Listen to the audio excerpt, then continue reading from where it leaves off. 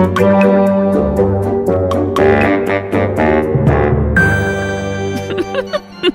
Hey beauties and welcome back to my channel. Before we get started, be sure to hit that subscribe button right now so you don't miss any of my Halloween tutorials. Today's look is inspired by one of the best Halloween movies of all time, Disney's Hocus Pocus. It was filmed in 1993 and the story is set in Salem, Massachusetts. The plot is centered around the Sanderson sisters who were resurrected by a teenage boy, otherwise known as Max. Throughout the movie, Max, Thora, and Vanessa fight to defeat these witches and banish them back. Today's look is inspired by one of the Sanderson sisters, Sarah Sanderson, who is played by Sarah Jessica Parker. Sarah loves looking young, beautiful, singing, talking to boys, and she's hilarious. I am beautiful. Boys will love me.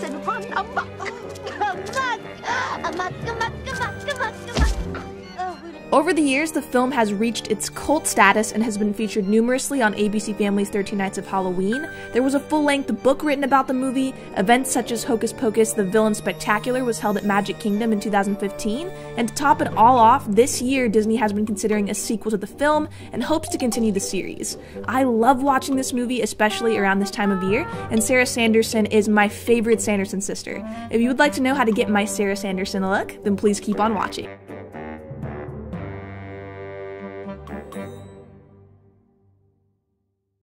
Alright, so to start this look, we're going to be priming our skin, and I am using the Too Faced Hangover Primer. This is going to prime the skin for foundation, but also protect the skin and make our complexion look really good.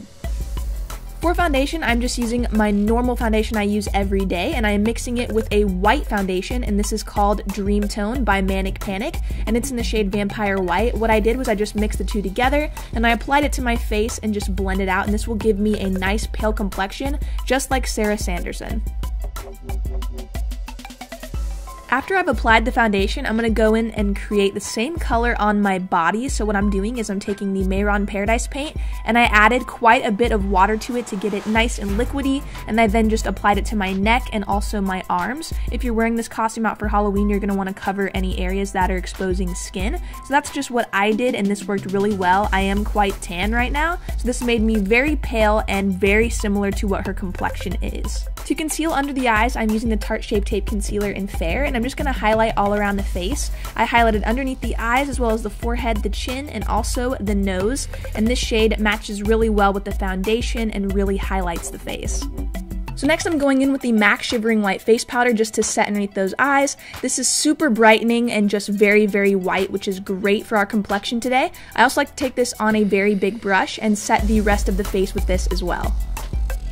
So I noticed her brows were pretty dark for her hair being so blonde and platinum, so I'm going to use the Benefit Precisely My Brow Pencil. I really love this, and I'm just going to comb the color through the hairs of my brows, and then brush through with a spoolie. This is in shade 4, so it is pretty dark against our pale skin and our blonde hair, but it looks a lot like what she had going on. And to set the brows, I always like using a brow gel just to keep them in place, and I'm using the Ready Set Brow by Benefit, and just combing the hairs up and away.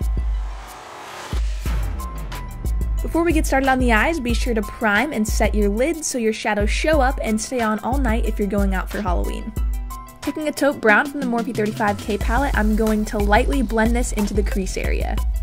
Taking the Makeup Geek Spectrum Liner in Obsidian, I'm going to line my entire eye with this liner all around and smoke out with a black shadow for a very smoky look. Taking a dark brown, I'm going to go over that black and smoke out even further, and I'm also going to take a bit of the dark brown and apply this to the lid area.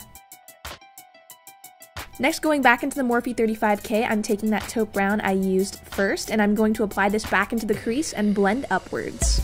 Taking a beautiful champagne, I'm going to go into the brow bone and tap this right in for a nice highlight, and I'm also going to take this into the inner tear duct area for an inner corner highlight. Taking the black shadow, I'm going to go back in and smoke out even further by applying this to the lid and also the lower lash line and just blending out. Next, you want to apply some mascara and your favorite false lashes. I am using the Tarte Lashes in the style Goddess. And this is the final Sarah Sanderson eye look. Sarah Sanderson didn't have a very harsh contour, so I'm going to go in with something that's very gray based that will look really good with our pale skin. And I'm just going to apply this into the hollows of the cheeks as well as the forehead area. And this is a great shade to use as a nose contour as well. So I'm just going to go in with that and define my nose. To highlight the nose, I am using the Jeffree Star Cosmetics Ice Cold Skin Frost, and this is the lightest highlighter that I own, and it looks really, really good with our complexion today. So I'm just applying that to the nose, as well as the cheekbones, and also the center of the forehead. Going back into the Lunatic Labs Cosmetics contour palette, I'm taking a much deeper purpley mauve shade than what we used before for our contour, and I'm just applying this right over the top, just for more definition. So for lips, I was looking for a lip color that looked exactly like the one she was wearing in the movie, and to me, the Ofra Cosmetics Havana Nights liquid lipstick is perfect. It just looks so much like the deep red shade that she was wearing.